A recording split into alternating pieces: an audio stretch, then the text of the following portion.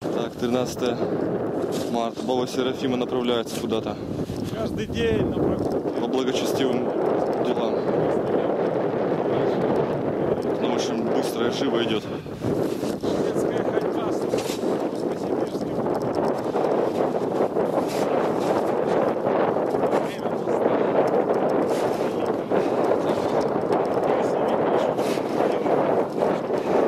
Это у нас склады лагеря. Мы стоим на большом складе. Здесь у нас и одежда, и постельная, матрасы, одеяло, подушки. И я вот сколько здесь живу, 15 лет, раза два-три, наверное, только сбрасывал. И нынче приходится. А, слой здесь ну, поменьше, отсюда на конце. Вот это все склады. И рядом тоже склад, вот, брат Никита. Вот такие дела нынче. Бывает снегу столько, что и крыша ломает. Ну, слава богу, здесь у нас пока еще не видел я, что кого-то ломало. Вовремя сбрасываем.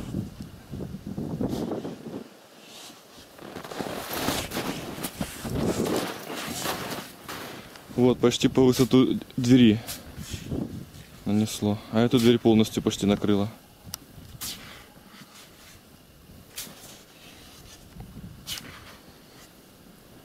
Во свете Библии Вот Скворечник. поем об истине. Гитара. Мы путь прокладываем свой. Чем не гитара, да? Делами дивными, кресте едиными.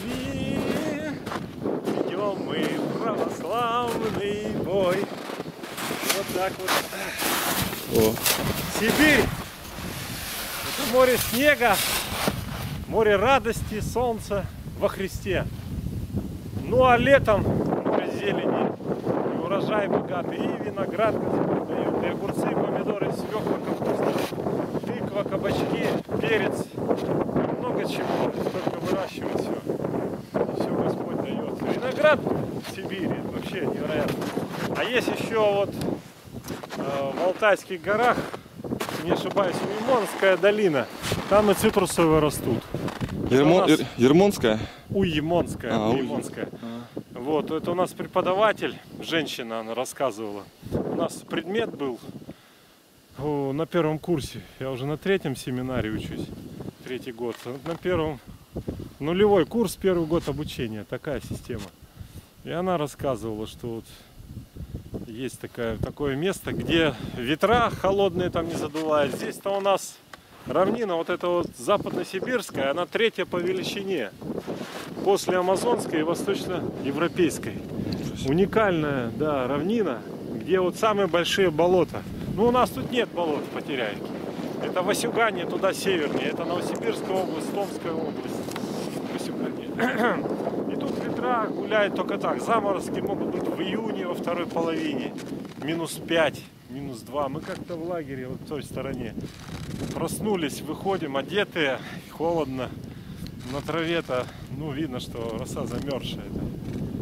Вот, вот это вот иней.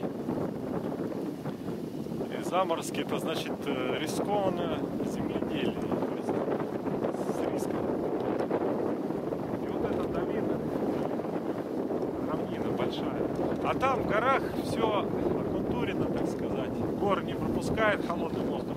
И нагревается так. Если еще южный склон, и вот у Иманской долины я сам не был, рассказывать, цитрусовые даже растут, удивительно. Сибирь богатая, здесь и пушнины много было, сейчас уже, конечно, столько нет. И хлеб, Алтайский край, хлебный край. И работы, говорят, у людей нет работы. Тут она сама находит снег кидать. Весна, май, посадка, лето. Слава Богу, работа всегда есть. А земля имеет нравственное начало, говорит Петр Аркадьевич Столыпин.